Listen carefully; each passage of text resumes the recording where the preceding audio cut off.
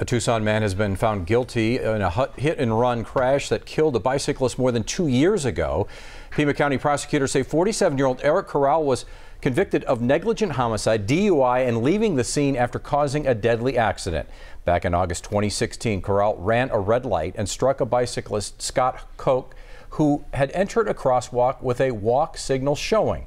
Tucson police stopped Corral about 10 miles away and he had an open beer bottle in his car. His blood alcohol level was 0.313. Corral scheduled to be sentenced on November 28th.